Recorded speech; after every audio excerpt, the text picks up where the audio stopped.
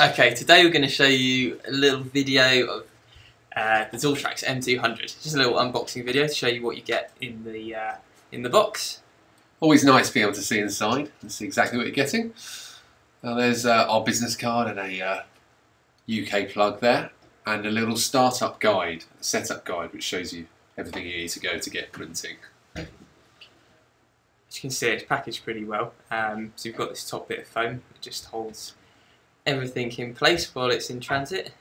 Just take that out and then see what's inside.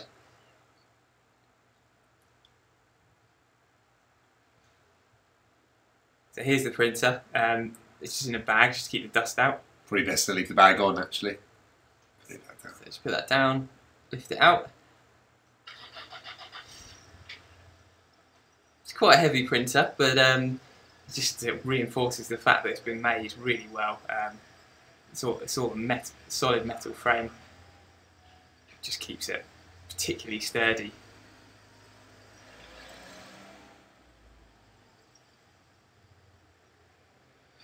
Now it's quite good. They've utilised the space inside the printer to uh, package up some of the accessories.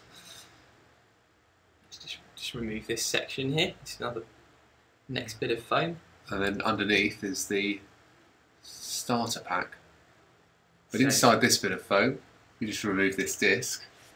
There's a Zortrax Z ABS spool in there, and that's the filament guide. It's a pure white that comes comes with the printer. It's nice and snug in there to get that out.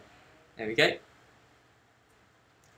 And you've also got uh, that's the spool holder, just to go on the back, and a test print, which was printed on your printer. They do this in the factory just to check everything's working okay, which is good to know. Now let's get the starter kit out. It's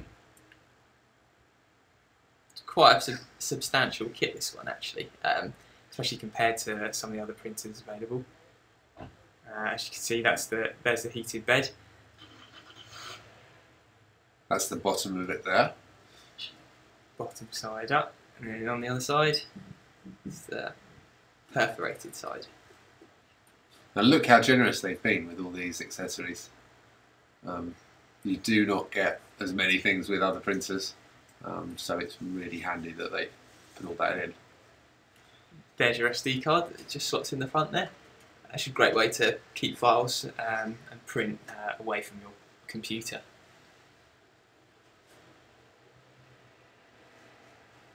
So let's have a look inside the starter kit. As we mentioned before, there's the heated build plate.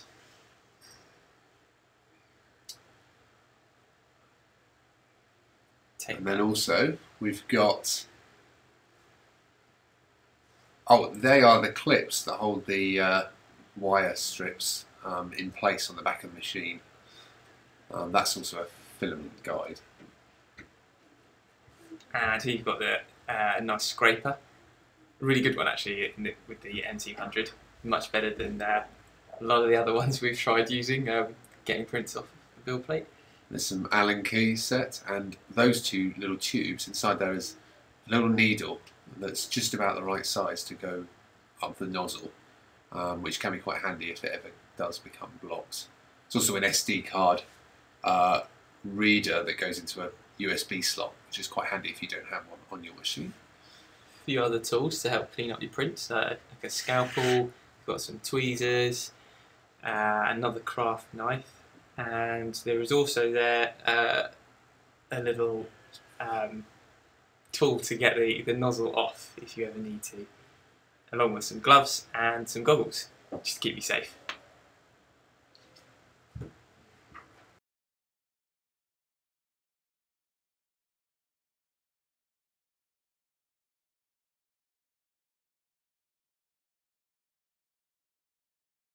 Thanks for watching. If you like the video, then please click to subscribe. For more information on the printers and materials we've used in this video, visit dream3d.co.uk.